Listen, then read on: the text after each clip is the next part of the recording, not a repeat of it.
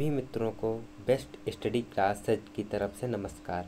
आज हम आपके लिए crop production technology rabi crops के लिए बेस्ट क्वेश्चन आंसर लाए हैं बीएससी एग्रीकल्चर फोर्थ सेमेस्टर के, जो कि आपके लिए बहुत ही इंपॉर्टेंट साबित होंगे। यह स्पेशल नोट्स आपके लिए ही बनाए गए हैं। तो समय ना बर्बाद करते हुए चलते हैं आज के वीडियो की तरफ़ और वीडियो पूरा देखें, जिससे कि आपको सभी क्वेश्चन आसानी से याद हो सकें। बढ़ते हैं पहले क्वेश्चन की तरफ़। वर्षा प्रजाति है तो यह वर्षा प्रजाति ज्वार की है।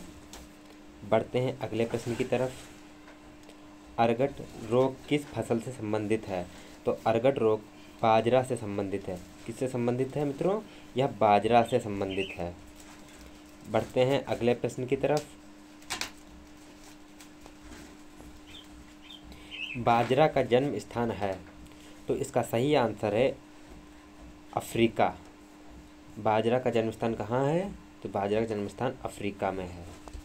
यह प्रश्न अवश्य आएँगे परीक्षा में, या आप ज़रूर याद कर लीजिए। यह बहुत ही इम्पोर्टेंट सवाल है। बढ़ते हैं अगले प्रश्न की तरफ़। बुवाई के लिए समूचे आलू का आकार कितना होना चाहिए? तो इसका सही आंसर है दो दशमलव पाँच सेंटीमीटर। बढ़ते हैं अगले प्रश्न की तरफ़। आलू में कंद बनने के लिए उपयुक्त तापमान है। तो इसका सही आंसर है अठारह से बीस डिग्री सेल्सियस। अब बढ़ते हैं अगले प्रश्न की तरफ़। सोलेनाइजेशन किस फ़सल से संबंधित है? तो यह आलू से संबंधित है। बढ़ते हैं अगले प्रश्न की तरफ़। अंतर्राष्ट्रीय भूविज्ञान के अनुसार सिल्ट कणों का व्यास है। तो इसका सही आंसर है ज़ीरो दशमलव ज़ीरो दो से ज़ीरो दशमलव ज़ीरो ज़ीरो दो एम एम बढ़ते हैं अगले प्रश्न की तरफ़। मृदा में उपस्थित बालू, सिल्ट तथा चिकनी मिट्टी के सापेक्ष प्रतिशत मात्रा कहलाती है। तो इसका सही आंसर है मृदा गठन। या कई बार पूछा, ऐसे भी सवाल पूछा जा चुका है, मृदा गठन किसे कहते हैं? तो मृदा गठन उसे कहते हैं, बालू सिल्ट तथा चिकनी मिट्टी के सापेक्ष प्रतिशत मात्रा को ही मृदा गठन कहते हैं। बढ़ते हैं अगले प्रश्न की तरफ़। दो फ़सलों के बीच में कम समय में ली जाने वाली फ़सल कहलाती है। तो इसे अंतर्वर्ती कैंच फ़सल कहते हैं, अर्थात अंतर्वर्ती फ़सल या कैंच फ़सल भी कहते हैं। अब बढ़ते हैं अगले प्रश्न की तरफ़। ट्रिटकम एस्टिवम के गुणसूत्र की संख्या है तो इसका सही आंसर है बयालीस। अब बढ़ते हैं अगले प्रश्न की तरफ़।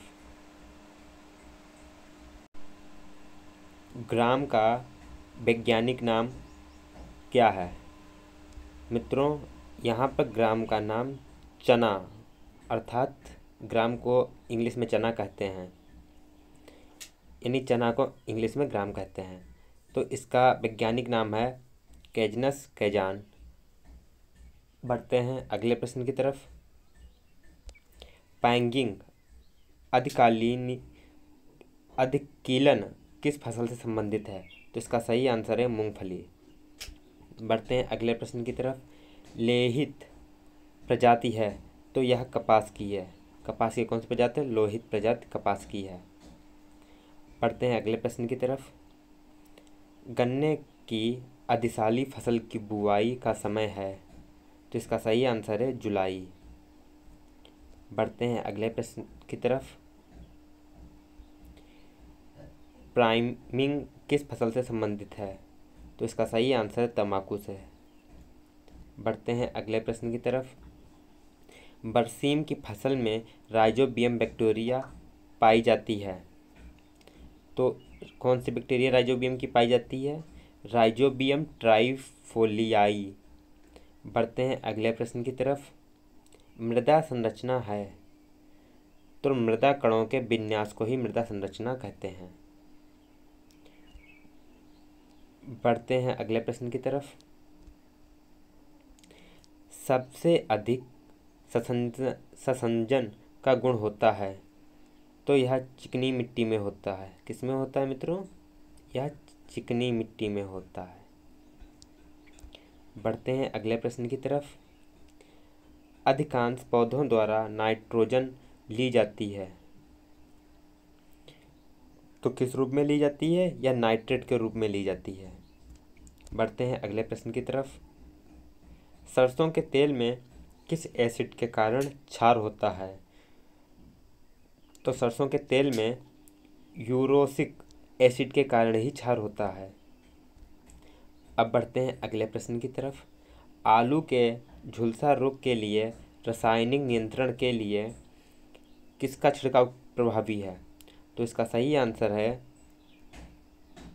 डाइथेन यम फोर्टी फाइव का। किसका है?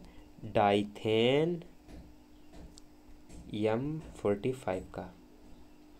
अब बढ़ते हैं अगले प्रश्न की तरफ़। ऊसर भूमि में बोने हेतु गेहूँ की उपयुक्त प्रजाति कौन सी है? तो इसका सही आंसर है राज तीस सतहत्तर। अब बढ़ते हैं अगले प्रश्न की तरफ़। गेहूँ में ईयर कोकिल किससे फैलती है? तो इसका सही आंसर है नेमेटोड से। किससे फैलती है? नेमेटोड से। अब बढ़ते हैं अगले प्रश्न की तरफ़। बरसीम को भारत में सर्वप्रथम कब उगाया गया था? यह बहुत ही इम्पोर्टेंट प्रश्न है।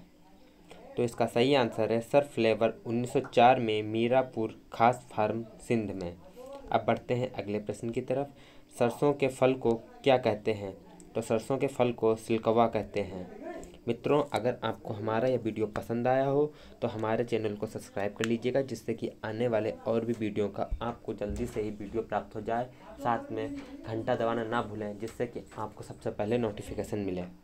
धन्यवाद।